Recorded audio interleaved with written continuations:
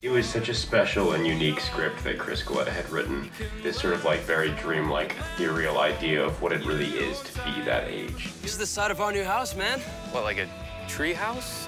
No, like a real house. Where we make the rules, you know? Like men. Our cast is just incredible comedic talent. I really loved the script. I think it was really original, and, and I got to play Monopoly, which was no small incentive. to have Nick Offerman express some interest, and we were like, oh my God, yes. Mr. Toy, are you familiar with The Boy Who Cried Wolf? Yes, I experienced a childhood on the planet Earth, so yes, I've heard of that one.